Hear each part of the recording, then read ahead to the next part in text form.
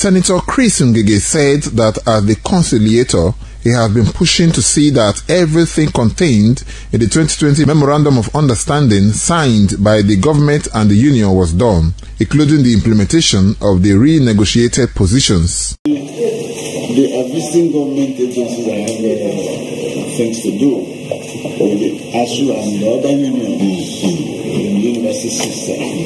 They will see the message and um, they will be more enriched in the discussion so that they can be able to assist us. Chairman Professor Nimi Briggs, who is also the Pro Chancellor of Alex Ekwueme Federal University, Ndufu-Alike, Ebonyi State, said the renegotiation committee was consulting all stakeholders with a view to finding a lasting solution to issues in dispute. Today we held a meeting with um, um, the unions and um, um, they were quite upset. I think that's the right word. They were quite upset that government is unable to meet the respective demands that were being made. The union is of the opinion that they would want to be paid through the uh, through the UTAS. Thomas Sado reporting.